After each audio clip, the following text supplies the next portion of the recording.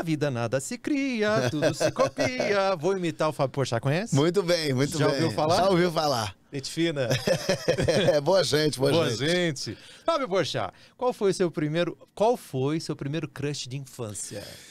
É, eu, eu era apaixonado pela Débora Seco em Confissões de Adolescente, eu tinha a mesma idade dela, então eu era assim, pra mim ela era um acontecimento, assim, ela, e no Confissões da Adolescência, ela tinha, sei lá, uns 13 anos, então ela dava o primeiro beijo, ela falava, sei lá, de sexo, e eu tava nessa idade, então pra mim, e ela é, é linda, né? Sim. Mas ela era, assim, um, um acontecimento, e a Natália Lage, Sim. que fazia uma novela que agora eu não me lembro. qual- Ela, ela até me contou. Hã?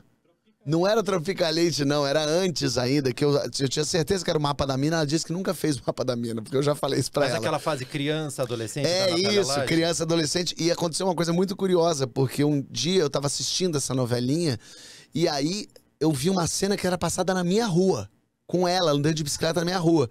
E na minha cabeça de criança eu pensei, ela tá lá. Eu saí correndo pela minha rua pra ver se eu encontrava ela. É óbvio, aquela novela tinha sido gravada, tinha 10 dias. Primeira frustração. É, e aí eu cheguei na rua e pensei, puxa, acabou a cena, ela já foi embora. Mas mais ou menos nessa época, então, da Débora Seco, você deve ter ficado com um leve bode de José Maier, porque teve aquela novela que a Débora Seco e o José Maier não tinham uma novela assim?